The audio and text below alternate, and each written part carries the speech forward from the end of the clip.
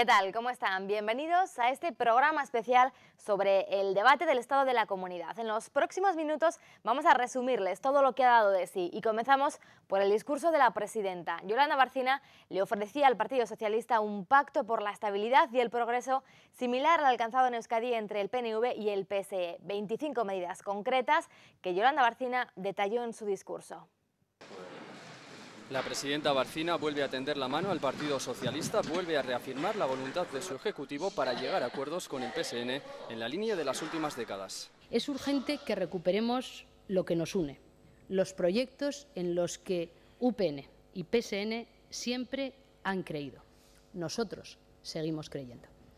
Me resisto a pensar que después de 30 años el PSN vaya a cruzar la línea roja del nacionalismo y UPN quede como el partido que defiende Navarra tal y como se conoce. Y para ello toma como ejemplo el pacto firmado por el Partido Socialista de Euskadi con el PNV en el País Vasco el pasado 16 de septiembre.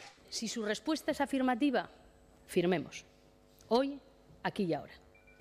Si su respuesta es un no, entonces, por favor, explíquenselo a los ciudadanos. Díganles claramente por qué no quieren para Navarra lo que sí son capaces de querer para el País Vasco. Sí, Así es. Todas y cada una de las 25 medidas que acabo de enumerarles las firmó, una tras otra, el Partido Socialista de Euskadi el 16 de septiembre, con el PNV, para dar estabilidad al Gobierno del País Vasco y propiciar la salida de la crisis de la comunidad vecina. Díganle a los navarros por qué en el País Vasco es bueno dar estabilidad a un Gobierno en minoría y en Navarra no. Un pacto que incluye 25 medidas de actuación aglutinadas en cinco ejes diferentes. Destacan una reforma fiscal integral, el adelgazamiento de la Administración o el desarrollo de medidas incluidas en la mesa de empleo. Una Administración pensada en el ciudadano, sin burocracia y lo más sencilla posible, con una ventanilla única de verdad. Y con un sector público que concluya el proceso de reestructuración para ser capaces de integrar en una sola empresa pública todas las del mismo sector de actividad, sin duplicidades, con eficiencia. Barcina también se ha referido al mensaje y modelo político de la izquierda Berzale censurando su inmovilismo. Allá donde gobiernan, dedican todos sus esfuerzos en homenajear a los terroristas, humillar a las víctimas y hasta profanar las casas de los asesinados. Allá donde gobiernan, reina la imposición política y el totalitarismo cultural. Esa es la alternativa social y política que Bildu contempla para Navarra. Un Parlamento en el que la presidenta ha vuelto a reiterar su intención de no convocar elecciones y pedir a la oposición que no torpedeen la acción de gobierno. Yo no voy a convocar elecciones porque he sido elegida para cuatro años. Y si ustedes quieren elecciones, utilicen las vías que la democracia ha puesto a su disposición. Presenten una moción de censura, apruébenla, formen un tripartito o un cuatripartito y gobiernen. Pero si no lo hacen, si no tienen una alternativa real a este Gobierno, entonces, por favor, dejen gobernar. Olvídense de torpedear al Gobierno de Navarra y centren su mirada en los ciudadanos. Trabajen por ellos y no contra nosotros.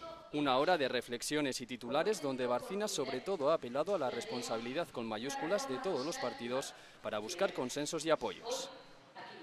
Como han escuchado, la presidenta volvía a ofrecer un pacto al Partido Socialista y una vez más recibía la negativa del Partido Socialista. Roberto Jiménez ha rechazado la mano tendida de Yolanda Barcina, ha pedido su dimisión y la convocatoria de elecciones. Todo dentro de lo esperado. Quien fue socio de Barcina en el gobierno saca esta conclusión del discurso de la presidenta. La conclusión es lógica y sencilla. Dimita hoy y deje que mañana Navarra despierte con ilusión, con esperanza y empiece el cambio que esta sociedad necesita y que solo usted ignora porque a usted solo le importa el poder. Las personas le dan igual. Una pena. Palabras gruesas de Roberto Jiménez que pone a Barcina en la historia y no para bien. Y sabe cómo pasará la historia, ¿verdad? ¿Cómo va a pasar la historia, verdad? Pues sí, como quien peor ha presidido la comunidad foral de Navarra. Dudoso honor. La presidenta no ha pasado por alto esta apreciación en su réplica y sin nombrarlos ha insinuado la trayectoria de anteriores presidentes con sigla socialista. Francamente desafortunada su observación. Recuerde, y no voy a ser yo la que diga nombres, pero me parece que ahí están nuevamente los datos para que usted vea dónde han terminado algunos de los presidentes que ha tenido nuestra comunidad. No obstante, la presidenta ha vuelto a tender la mano, sin éxito. Ojalá seamos capaces todos en esta Cámara de mirar a los ciudadanos de Navarra más que a nuestras formaciones políticas o a nuestros intereses. Si hablamos en nombre de Navarra, si queremos ayudar a Navarra, hagamos las cosas por Navarra. Navarra necesita gobiernos fuertes y ustedes no tienen un gobierno fuerte ni posibilidades de tenerlo. Con lo cual, no le queda otra alternativa que convocar elecciones. Nada más y muchas gracias.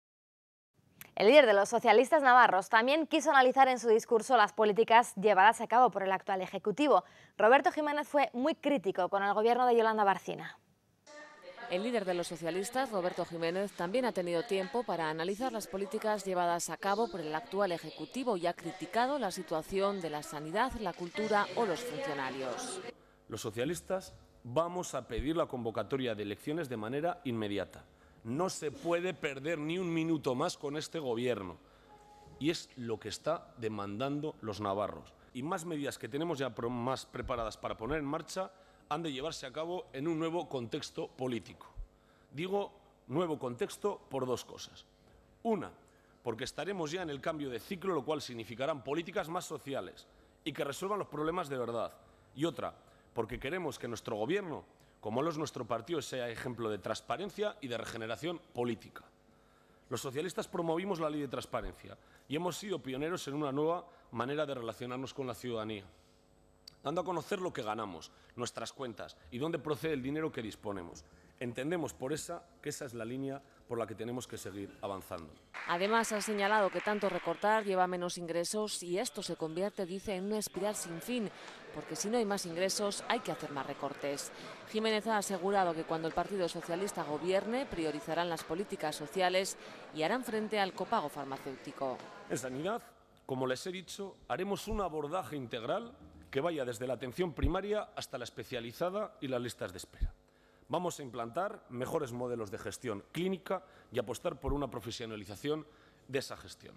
Les avanzo que una de esas primeras medidas que tomaríamos será la de minimizar el impacto del copago farmacéutico entre pensionistas y jubilados. El copago, señora presidenta, es injusto y más aún cuando afecta a enfermos crónicos o a personas con enfermedades graves que no eligen tener que medicarse o tratarse porque no les queda otra para sobrevivir.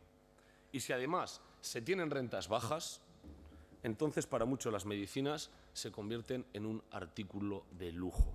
Valores, búsqueda de prosperidad, igualdad de oportunidades, transparencia, participación, prioridades, empleo, sanidad, educación y lucha contra la pobreza.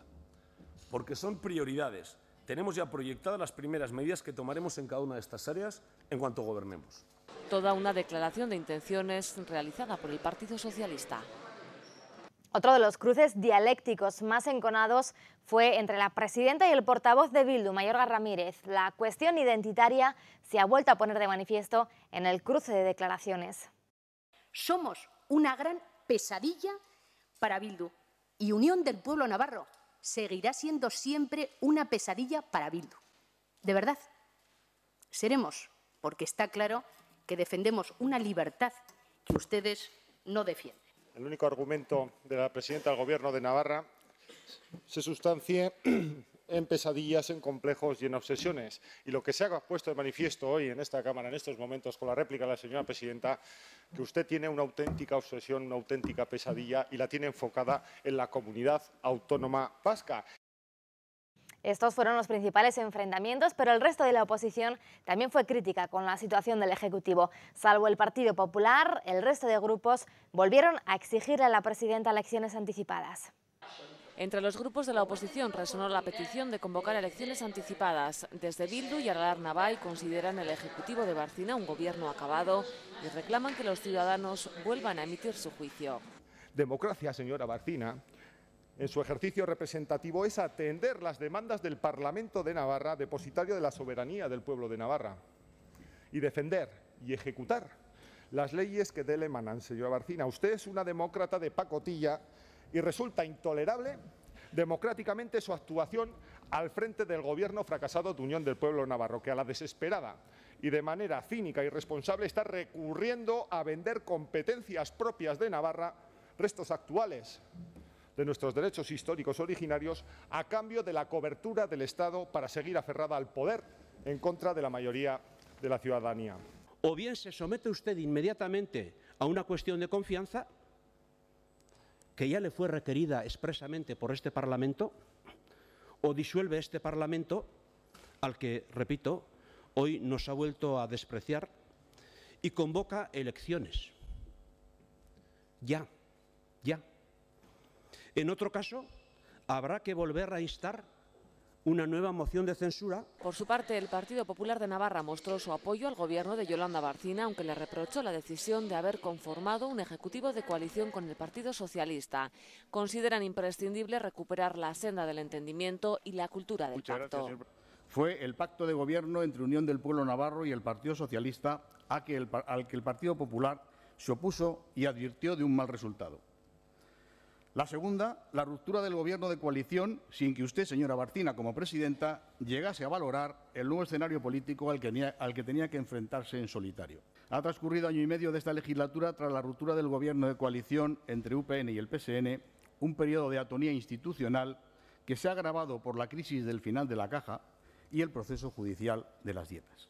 Desde Izquierda Esquerra califican de inaceptable que Barcina quiera agotar la legislatura sin los apoyos suficientes. Le han dicho no, usted no tiene ahora ninguna posibilidad de restaurar una mayoría parlamentaria que dé estabilidad a su acción de gobierno en una situación como la que está en Navarra. Usted lo ha dicho, trascendental. Y sin embargo, usted hasta el momento ha dicho que pese a eso va a someter a esta comunidad a tres años de inestabilidad política, a otros 20 meses de minoría parlamentaria, a otros 20 meses de inestabilidad política, a tres años de inestabilidad política. Entonces, ¿usted cree que Navarra se merece esto? ¿Usted cree que puede someter a Navarra a esta situación? Esta es la cuestión que hoy hay que, tiene que usted que contestar aquí. Para Geroa y el discurso de la presidenta ha sido decepcionante y le recuerdan que un gobierno integrado por Geroa Bay sería un ejecutivo volcado en la comunidad foral. Me da la sensación de que para usted, caramba, mm, el que nosotros gobernamos de verdad sería el acabose sería el acabose. Pero ¿cree usted de verdad que nosotros no queremos lo mejor para los navarros? ¿Cree usted que si la ciudadanía nos da la responsabilidad junto con otros de gobernar, no nos vamos a preocupar de verdad, de verdad por el empleo y por la cohesión social de todos los ciudadanos navarros? ¿Cree usted que no? ¿Cree de verdad que no? ¿Cree usted de verdad que no? Ante las repetidas exigencias de, elecciones, la presidenta instó a la oposición a unir sus fuerzas y sacar adelante una moción de censura. Una vez puestas sobre la mesa todas las posturas, el viernes llegó el momento de las resoluciones. La oposición volvía a exigir convocatorias de elecciones de manera urgente y lo hacía sumando sus votos en las propuestas de resolución. Muy crítico, especialmente el Partido Socialista, que lejos de recoger ese guante lanzado por la presidenta, le decía que era una presidenta con votos robados. Todas las propuestas socialistas se han reducido finalmente solo a una. Señora Barcina, disuelva la Cámara y convoque elecciones. Y a partir de ahí los ciudadanos, como siempre, ya decidirán cuál es el futuro de esta comunidad. Porque nos parece que en estos momentos es más importante dejar claro el mensaje que todo lo demás. Porque con todo lo demás llevamos meses pidiendo, demandando, exigiendo e incluso pactando y ninguna de las cosas demandadas, exigidas, pedidas o pactadas se están cumpliendo. Con lo cual, hoy y en estos momentos lo importante es lo importante, Resumo, mantenemos la propuesta de declaración institucional número uno, exigiendo la convocatoria de elecciones. De hecho, el Partido Socialista de Navarra ha decidido retirar el resto de propuestas para que los grupos votaran solo la que exige la celebración de elecciones. Y eso que en su paquete de resoluciones incluían una de rechazo a la ley de educación que prepara el Partido Popular o el aumento del techo presupuestario y de gasto para el Departamento de Políticas Sociales. La presidenta es legal, no es legítima, porque tiene quiere tener unos escaños que no los tiene. Es que es una presidenta con votos robados, porque no los tiene. es que los que votaron al Partido Socialista de Navarra PSOE no le votaron a UPN, ¿saben? Y luego ya fue elegida con los escaños de las personas que votaron al PSN. Por lo tanto, es una presidenta que es presidenta, que sigue siendo presidenta, no antes, ahora, cuando ya solo le apoyó a UPN, con votos robados. Las cosas como son, hombre. En la misma línea que los socialistas, Bildu, que también ha decidido retirar el resto de propuestas y quedarse solo con la que exige la dimisión de Barcina y la convocatoria anticipada de elecciones. Pero que fundamentalmente estamos hablando de hacer otro tipo de políticas de izquierdas progresistas que van justamente en sentido contrario a lo que están haciendo ustedes. En el fondo, todas ellas están supeditadas, desde luego, a un cambio político. Un cambio político que solo se puede dar mediante la convocatoria de elecciones y usted, como pasa olímpicamente del Parlamento, ustedes pasan olímpicamente del Parlamento, pues disuelva la Cámara, disuelva la Cámara. Que es la que reclama, exige la disolución del Parlamento y la convocatoria de elecciones. Y lo hacemos porque, por mucho que la señora Barcina, ante la grave situación que vive esta comunidad, ayer intentó escudarse y esconderse por viajes geográficos o por el ustedes más o ustedes menos, depende de cómo venía el caso, la verdad, la verdad es que no hizo sino escabullir su verdadera realidad y su verdadero problema. Y ese tiene que ser, entendemos nosotros, el empeño de todos. Construir un programa económico, un programa social, un programa de defensa de los servicios públicos, un programa muy importante de convivencia y de superación del frentismo identitario, que realmente supere el sectarismo histórico de esta comunidad que ha practicado UPN y también muy importante que plantee una regeneración democrática fundamental que necesita esta sociedad. Mm, en los que estamos 100% de acuerdo. En general el tono es positivo y, básicamente coincidimos. Hay algún elemento con el que podríamos tener dificultad, pero insisto, el mensaje importante a dar hoy es el que hay que dar. ¿no? La oposición en bloque, excepto el Partido Popular, ha traído a la Cámara la misma petición. Incluso PSN, Bildu y Geroa Bay se han negado a votar las propuestas que no pedían elecciones. Se pueden convocar elecciones, se puede someter a una cuestión de confianza y también se puede presentar la moción de censura. Y llama la atención que de las tres que se pueden hacer, quieren que se haga cualquiera de las dos que no depende de quien la está pidiendo. Por lo tanto, si la mayoría la tienen para pedirla, pues lo normal es que la llevaran a cabo. Pero ahí llega ya todo lo demás. Como bien decía el señor Mauleón, que lo difícil es construir. Es muy fácil decir cuatro generalidades, como se van a decir hoy, que está a favor de la educación, de la sanidad, etcétera, pero es muy complicado luego eso ponerlo cada coma y cada punto en su sitio. Queda de manifiesto que al final no tienen quien lidere la coordinadora y quien se erija en gallo del corral. Y ustedes aquí han venido a hacer un circo en el que hemos visto lo bien que se han puesto de acuerdo, eso sí, Bildu y el Partido Socialista han decidido ambos quitar sus propuestas de resolución. Ambos también hasta se han puesto de acuerdo ahora en las últimas votaciones en qué no votar y en qué sí dar el callo en el quinto punto. Eso es lo que hemos visto perfectamente, pero también hemos visto reflejado, como bien ha dicho el señor García Danero, cómo ustedes no han querido evidenciar aquí cómo en muchas de esas propuestas de resolución se vería bien claro la gran diferencia ideológica que tienen ustedes. Y también se vería bien claro el pupurri de partido, de ideología que son todos ustedes. Ahora bien, ya les digo, igual que se han puesto de acuerdo para esto, pónganse también para hacer la moción de censura si tanto lo quieren, porque me parece un acto de cobardía, y lo vuelvo a repetir por mucho que el señor Lizarbe le haya parecido inadecuado lo anterior, lo vuelvo a repetir, ¿Por qué exigen todo el rato algo que ustedes tienen en su mano? Muy críticos populares y regionalistas con la postura de los grupos por no haber aprovechado el debate de política general para aportar propuestas en materias como educación, sanidad o empleo. Un debate que también nos ha dejado algunas curiosidades. Empezó puntual, el jueves a las nueve y media de la mañana, hora y cuarto de discurso de la presidenta, que a su llegada al hemiciclo era increpada por algunos miembros de Contus que se manifestaban a las puertas del Parlamento. Un debate que ha sido muy seguido en las redes sociales. En el ambiente, la sensación y el movimiento de un día importante en el Parlamento. Dentro, los más tempraneros y fuera representantes de Contus que a las puertas de la Cámara repartían un CD con un documental elaborado por la Asociación sobre Caja Navarra. De hecho, uno de los momentos más intensos se ha vivido cuando llegaba la presidenta Barcina y algunos han intentado hacerle llegar un CD.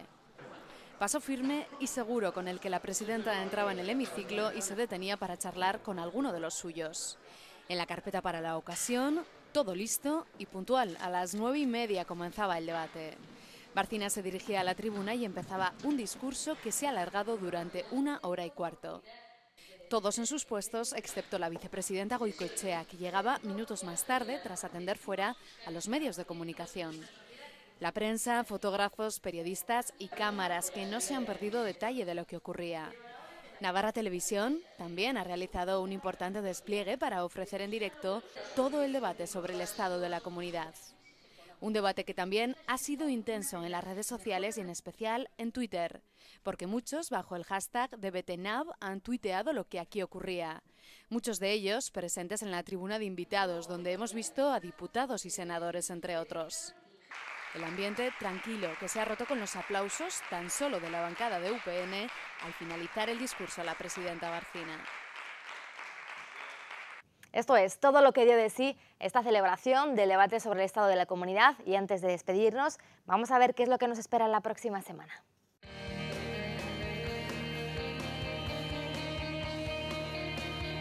El lunes la actividad parlamentaria comienza en la Cámara con la tradicional mesa y junta de portavoces. Ya el martes regresan las comisiones. A una de ellas acudirá el presidente de la Cámara de Comptos, Elio Rebleda, para explicar el plan de lucha contra el fraude fiscal 2008-2012 de la Hacienda Tributaria de Navarra. El mismo martes también se celebrará una sesión de trabajo dentro de la Comisión de Educación en la que comparecerán representantes de las entidades locales de los valles de Aezcua, Salazar y Roncal para informar de las solicitudes remitidas al Departamento de Educación para mejorar las condiciones educativas en el Pirineo. Ya el miércoles 9 de octubre tendrá lugar una comisión de política social con la comparecencia del consejero Íñigo Allí, que informará sobre la situación del circuito de los arcos y los planes futuros. El jueves la Cámara acogerá una nueva sesión plenaria que comenzará a las 9 y media de la mañana. La Cámara debatirá y votará el dictamen aprobado por la Comisión de Desarrollo Rural, Medio Ambiente y Administración Local en relación con la proposición de ley foral por la que se regula la prohibición en el territorio de la Comunidad Foral de Navarra de la técnica de fractura hidráulica como técnica de investigación y extracción de gas no convencional. Todo esto se lo contaremos ya la semana que viene, así que les espero aquí como siempre en Parlamento de Navarra. Adiós.